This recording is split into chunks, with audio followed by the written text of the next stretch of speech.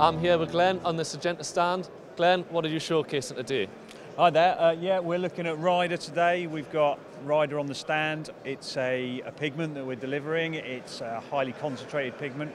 Doing quite a lot of work with it and trial work on it in high light conditions. It's really good at limiting UV stress looking at that quite in depth at the moment and UV light stress is kind of a secondary stress that kind of backs in on the back of disease and cold and heat and other issues and we're finding we can manage turf really well with this product. It's just adding extra value to the turf. It's a great tank mix product and it's going really well. People are really interested in it.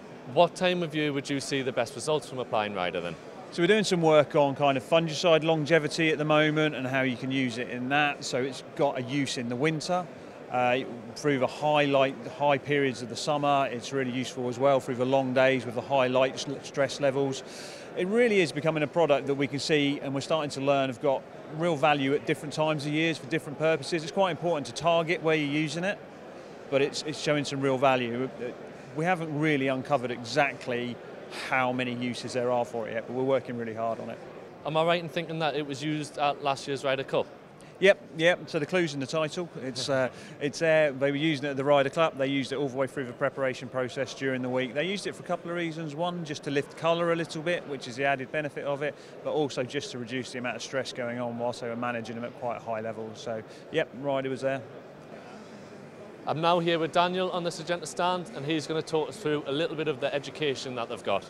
Yeah, we, what we've got behind you is some just uh, augmented reality for our kind of understanding of soil pests. It's a real big issue in greenkeeping at the moment that there's not a lot of insecticides or no insecticides registered on the market but we're working on something, we've got solutions coming forward. So what we really wanted to do is give people a really good idea of how to manage soil pests better, chafer grubs as you can see behind me, and leather jackets, and just really develop the education so greenkeepers are better aware and better at kind of finding solutions.